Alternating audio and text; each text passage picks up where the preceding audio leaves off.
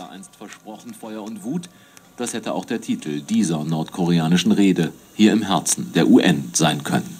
Aus New York, Georg Schwarte. Feuer und Wut sind wir von Donald Trump aus seinem Wahlkampf auch gewohnt, aber als US-Präsident hat er diesen Kurs beibehalten. Von Versöhnung keine Spur. Im Gegenteil, dass viele von ihnen Afroamerikaner